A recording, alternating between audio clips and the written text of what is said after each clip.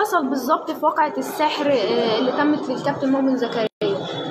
على حسب رواية المتهم الرابع. على حسب رواية المتهم الرابع إن الرابع كان بس إن هو الوسيط بالظبط.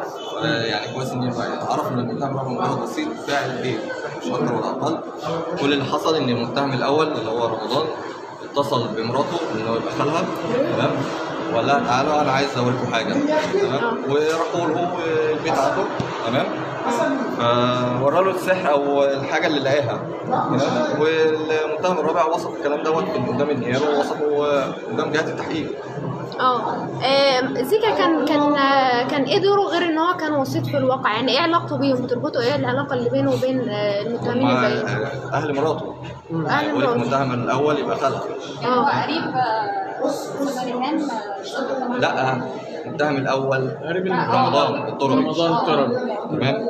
بس فمالوش أي علاقة بال- بالواقع خالص. هو اتصلوا بيه راح له البيت. طلع كلام إن هو قريب زوج مؤمن زكريا وهو اللي تواصل معاها و لا اللي اللي اتقال إن هو اتصل بابن خالة مرات مؤمن زكريا اللي هو مصطفى. تمام؟ إن هو إن هم كمان المتهمين عارفين إن هو على علاقة بيه وان هو صاحبه من الحتة عندهم.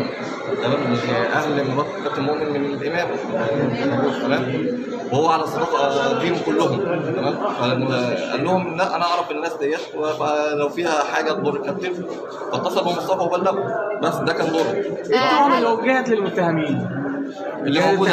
اللي موجودة واللي اتنشرت هل الاستيلاء ونشر أخبار كاذبه وتكبير الصف العام آه، هل زيكا كان يعرف إن السحر ده مفبرك من عدمه؟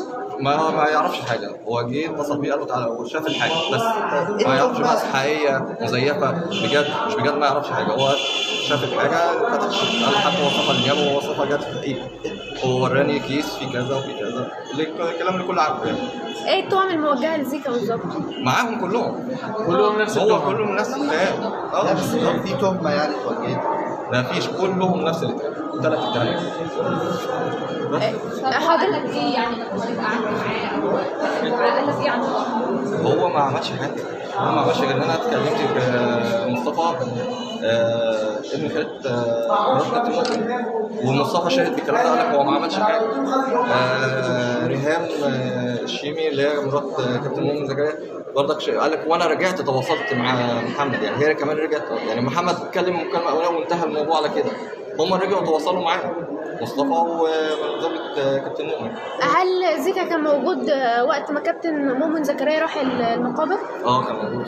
آه، يعني إيه اللي تم بالظبط في اليوم ده على حسب روايته؟ مصطفى اتصل بيه قال له كابتن مؤمن جاي وإحنا عايزين آه، إحنا عايزينك قال له خلاص أنا كان هو في الكافيه بتاعه تمام؟ قال له بس أول ما يقرب قول لي عشان أجي لك. ولما قرب مصطفى قال له ده جاي في السكة.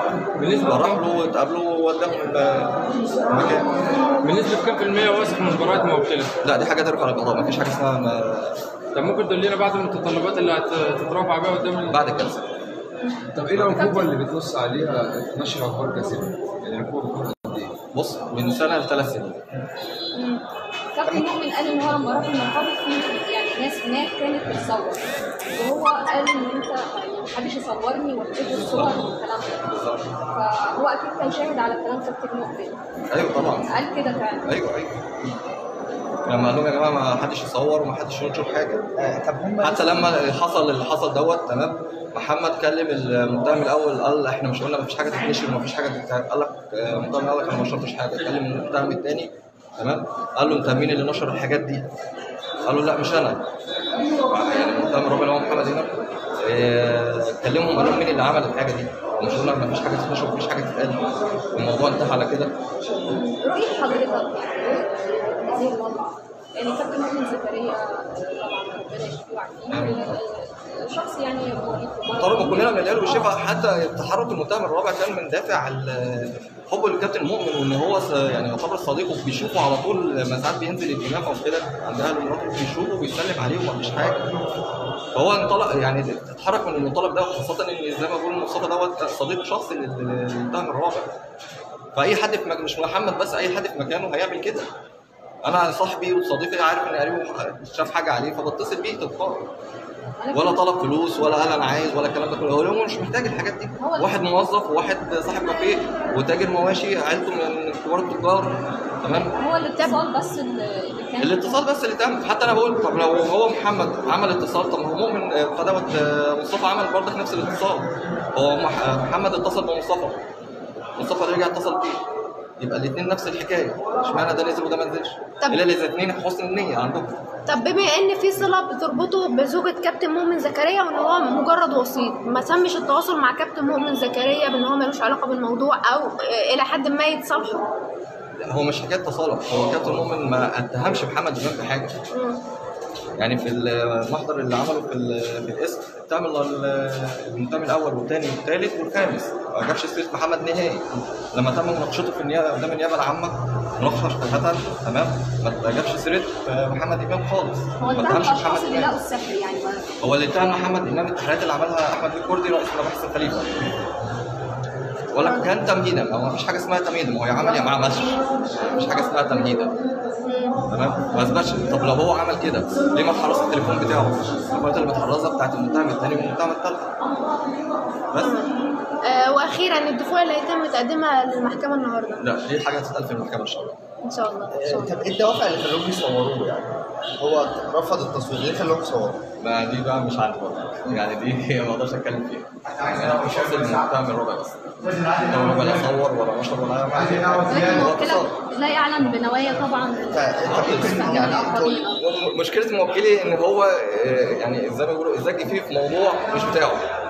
هو كان فاعل خير سواء من الطرف ده أو من الطرف ده.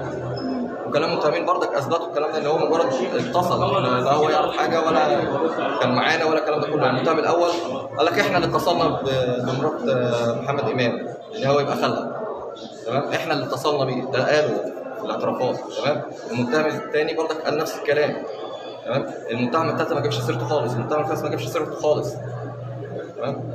بس أدي دور محمد إمام كله. يعني, يعني تقريبا الموضوع كله أنا مش فاهم إني قدام القضاء. قدام القضاء. بنشكر حضرتك جدا. بنشكر شكرا. بنشكر حضرتك جدا.